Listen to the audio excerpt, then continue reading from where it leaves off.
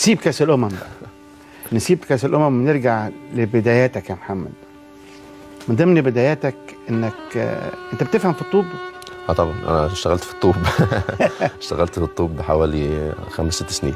وأنت كان عندك كام سنة يا محمد؟ أنا كان عندي 13 يعني 13 لحد مثلا قعدت لحد 17 16 سنة. بشتغل في الطوب في فترة معينة فترة الصيف. مصنع طوب يعني؟ آه مصنع طوبه يعني أنا يعني زي ما بقول اتدرجت في الوظائف.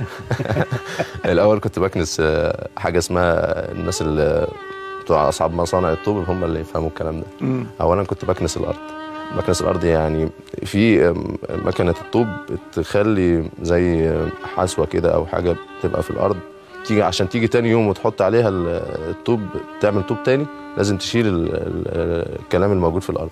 فكنا كنت أنا بكنسه. بجانب إن أنا بعد كده اترقيت بعد كده وبقيت آه، يعني تودي ال- الأسمنت لمكنة الطوب عشان تعمل الطوب. بعد كده حاجة اسمها تقليب يعني بتحط بقى تحط بودرة تحط حسو تحط رمل وتحط أسمنت وتقلب الكلام ده وتخلطه مع بعض بالكوريك حاجة اسمها كوريك. ف... وتحط مية فده اسمه تقليب تقليب على الناشف اسمه كده العبارة. عندك صنعة يعني. وبعد كده اسمه لما تحط المية على الكلام اللي أنا بقوله ده يحصل تاني تقليب على الأخضر. فكان الحمد لله يعني كان أحد الأسباب. أنا اللي خلاني كده عمر والدي ما غصب على واحد فينا إنه يشتغل. يمكن الوحيد اللي ما اشتغلش بال... بال... بالمهنة دي أخويا حسين ال- تاني أكبر تالت أكبر واحد. و... ومحمود. إنهم كانوا يعني يعني مش يعني كانوا برضو يعني صحتهم مش ولا بد إحنا كنا بنخاف على حسين جدا حسين يعني حس مرهف ومحمود برضو هو الصغير. فيمكن اللي شال ال- المأمورية دي أحمد أخويا الله يرحمه وأسامة والعبد لله يعني. ف... فكان الحمد لله كان كدور كمساعدة للوالد. يعني وال- والدي من النوع الحساس جدا. آه، كون إن كلمة ت... ت... يعني تزعل ممكن كلمة تزعله فعشان كده إحنا في علاقاتنا بيه بنبقى حريصين جدا.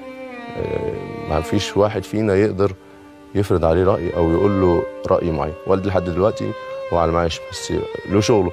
ما أقدرش أقول له اقعد من.